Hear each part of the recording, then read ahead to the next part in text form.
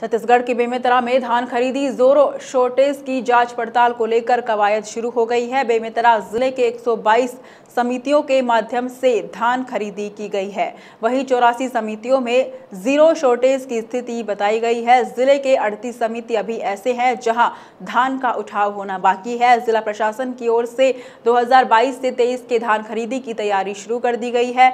Society में shortage को लेकर जिला विपणन अधिकारी आशुतोष कोसरिया ने बताया कि स्टॉक कम होने के कारण इन समितियों में गाड़ी नहीं पहुँच पा रही है। अभी जो पिछले साल जो खरीदी हुई थी, उसमें पचासी समितियों के द्वारा अभी तक ज़ीरो कर लिया गया है या ज़ीरो हो गया है, वहाँ के पूरे धन का निराकरण हो चुका है।